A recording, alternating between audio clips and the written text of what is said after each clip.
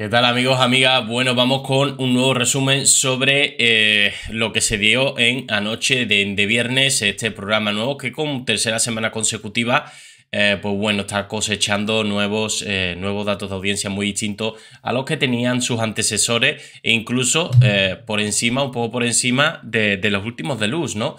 Me alegro que al final, pues bueno, podamos comentar el cotilleo de otra manera.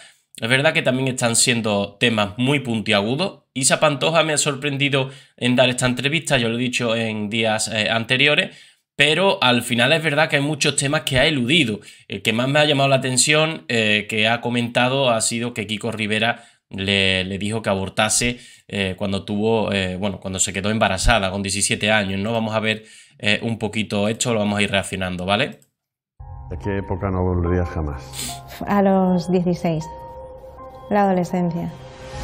Dejáis Marbella y La Pera para ir a Cantora. ¿Cuándo os vais a vivir a Cantora? Mm, nos vamos a vivir cuando yo tenía 16. En Cantora me llevan a un internado, entonces a mí me cambia muchísimo. Buenas tardes, ¿qué tal? Muy bien. ¿Tu internado fue para protegerte de la prensa o para tener un control de un adolescente? Un control. Y pues no, no, le fue muy bien, ¿eh? El control. Fue a peor, obviamente.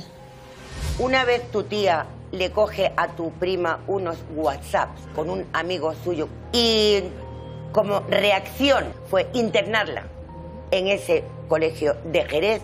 Al cumplir 16 decidí tener mi primer novio, pues todo cambió. El querer tener, por ejemplo, un novio era como imposible porque, según mi madre, era como no puedes tener novio porque eso implica muchas cosas y implica cosas que tú no puedes hacer. Y me quita el teléfono, la tablet, el ordenador, todo, todo, todo, todo. Y veía como mis amigas iban al cine, salían y yo eso no lo podía hacer.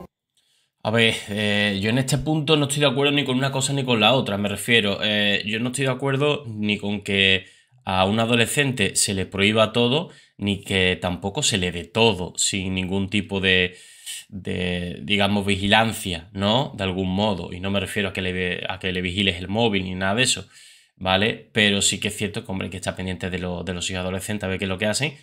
Pero eso de decirle con 16, 17 años, no, tú no puedes salir, no puedes relacionarte.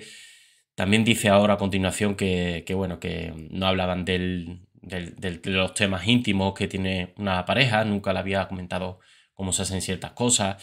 El hecho de, no ser transparente, ¿no? Cuando una, tu hijo adolescente va cumpliendo ciertas edades, pues sí que hay que ir hablando de estos temas eh, para ir un poco eh, enfocándolo de cómo hay que tratar eh, este tipo de, de, asuntos llegado el momento, ¿no? Entonces había cosas que no entendía. ¿Tú has sufrido algún episodio de racismo y demás? Esos episodios los ha contado mi hermana. No quiero saber si es verdad o no. Para mí no lo, no lo es. Unos comentarios Vale, este es uno de los temas que elude, eh, el tema del racismo. No sé por qué no lo ha querido comentar. Comentarios despectivos fuera de lugar. Eh, ¿Estamos hablando de xenofobia? Machu Picchu. Parecido, sí, sí. Habla de comentarios xenófobos en Cantora. Su madre ha consentido que su tío y su abuela la desprecien. ¿Con tu abuela, doña Ana, qué tal? Otro tema que elude, si no es por los vídeos que nos ponen de vez en cuando, hubiera sido un muermo de entrevista, la verdad. Eh, con su abuela, doña Ana. Algo, para mí, por la respuesta que da, algo hay que tampoco le gusta de doña Ana. Lo que pasa, como está fallecida, pues prefiere no comentar. Pero me da la sensación como que también eh, tiene algo malo que contar de ella y ha preferido callarlo porque ya no está con nosotros. Mm, bien. Es que yo no quiero decir nada. ¿De tu tío? Cuando tú eres pequeño notas si hay alguien que, te da cariño y hay alguien que te da menos cariño. Quizás se ha acostumbrado a vivir. Básicamente se da cuenta o está diciendo que de su tío Agustín ha recibido poco, poco cariño, poco afecto. A vivir sin su familia y si los tiene bien y si no, pues ya no sufre. ¿El episodio de la manguera? El episodio de la manguera es cuando tengo 17. Es que es Lamentable. No quiero, no puedo. Tampoco quiero hablar sobre este tema. Hombre, entiendo que fue a lo mejor un momento duro para ella y que no quiere rememorarlo. Pero bueno, eh, al final ya van varios temas que elude, ¿no? Por haber mantenido relaciones, Isapi, su hermano la regó con agua, con la intención como de limpiarla, una cosa antigua y absolutamente humillante. ¿Tu madre qué te decía sobre el amor o sobre tener relaciones? ¿Hablabas alguna vez con ella de sexo? Nunca. Yo no sabía nada, o sea, yo sabía cómo era el acto, sí, pero yo qué sé, detalles, yo no tenía ni idea. Esto es a lo que me refiero ya, esto está también dependiendo de, la educación que haya tenido cada uno, pero yo veo lógico que si no es un padre o una madre, cuando tu hijo, tu hija en confianza va cumpliendo 12, 13 años, 14, eh, no sé, cada uno la edad que crea conveniente, ¿no? Que vea que empieza a salir o que empieza eh, a crecer, no se le habla de estas cosas. ¿Quién, quién se las va a hablar si no? Eh, ¿Se va a enterar de aquella manera mm, por los amigos o viendo un vídeo de alto voltaje? Lo mejor es ya no solo por el acto, por el acto, sino el hecho de que a las mm, parejas hay que tratarlas con, con respeto, con que no, no, no es una propiedad tuya, ese tipo de cosas creo que son interesantes que unos padres siempre se lo digan a sus hijos adolescentes. El hecho de decir, oye, que estés una, con una persona no significa que sea de tu propiedad y que tenga que hacer todo lo que tú quieras, ¿no? Eh, tienes que llegar a unos acuerdos, unos entendimientos, pero las buenas. ¿Quién fue tu primer amor? Mi primer amor en sí, bueno, el padre de mi hijo, claro. ¿Cómo aparece Alberto Isla? Yo le conozco cuando tengo 17 años en el colegio. Es verdad que me entiende perfectamente, le cuento muchas cosas y en esa época, además, como había pasado ya la etapa de mm, esta mala, por así decirlo, de mi primer noviecito, pues mi madre sí que yo creo que cambia un poquito y dice, venga, pues voy a, voy a dejar que se vean, ¿no? Pero siempre en Cantora, o sea, nunca fuera de Cantora. En mi casa... En... Bueno, aquí básicamente lo que cuenta es que se veían en un salón en Cantora eh, y bueno, ahí tenían sus cositas. ¿Qué es lo que pasa? Eh, que al final se queda embarazada, le viene el periodo, ella se lo decide contar a su madre y, sorprendentemente, y digo sorprendentemente porque se habla tan mal de Isabel Pantoja, que yo me quería que en este, en este caso, después de, de, todo lo que había contado de ella, eh, que la mandado a un internado, que no quiere saber nada de que salga, no sé qué, me imaginaba que iba a tener una mala actitud. Habla bien de ella, habla bien de ella y dice que, que, bueno, que la entiende, que la apoya, que ahora lo que tiene que hacer es pensar en el bebé y no en ella, en qué es lo que quería hacer o qué proyectos tenía y que la apoya en todo momento. ¿Dónde está el problema? Kiko Rivera, que le dice que, aborte, ¿no? En un salón. ¿Qué es ideita, Kiko, eh? ¿Qué hay? Y nada, allí venía de vez en cuando y, hablábamos y, no sé, cosas. Bueno, ¿cuándo descubres que estás embarazada?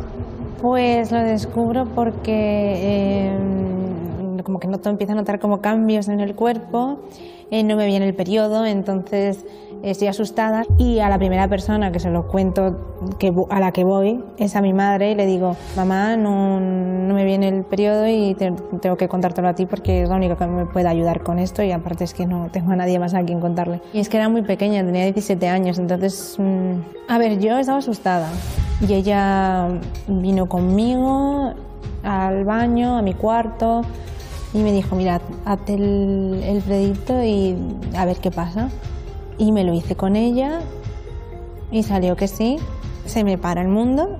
Yo tenía otros planes. Yo decía, cuando yo tenga 18, eh, quiero irme fuera, quiero vivir, no sé, en otro sitio, conocer gente. Pero mi madre me tranquiliza y me dice, mira, ya está, tranquilízate porque ya no tienes que pensar en ti, tienes que pensar en el bebé. Y cuando me dijo eso, pues yo la abracé y, por ejemplo, mi bueno, pues no es tan mal al final, ¿no, Isabel Pantoja? Mi hermano sí que me dijo, igual lo mejor es que no lo tengas porque eres muy joven. O sea, en realidad sí no me estaban diciendo ninguna mentira.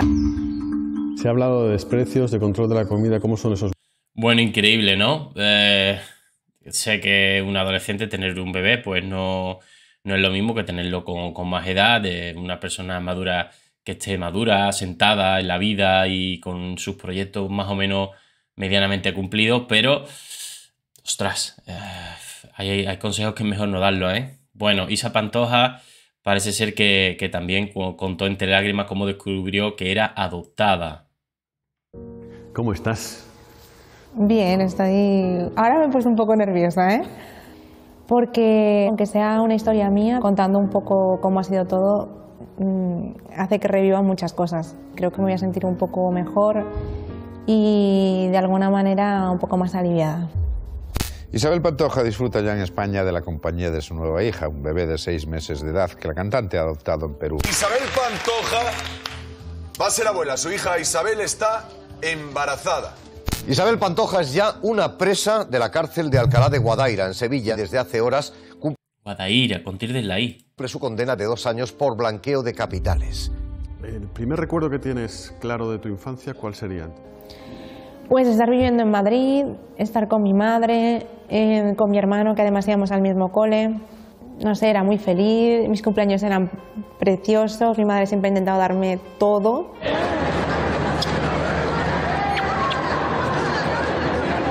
Era una niña mm, que quería mucho, mucho a, mi madre, a Dulce, que ha estado presente desde que yo era muy pequeña. Y mi hermano en esa época, además, siempre se lo decía a mi madre, es la persona que más quería. Sí que recuerdo que siempre era súper protector conmigo.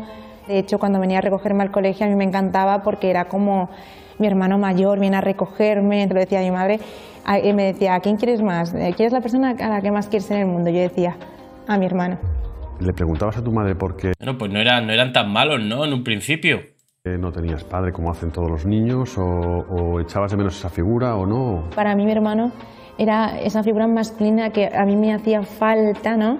Nunca se- me he atrevido a preguntarle nada que yo piense que fuese para ella complicado de explicar, nunca.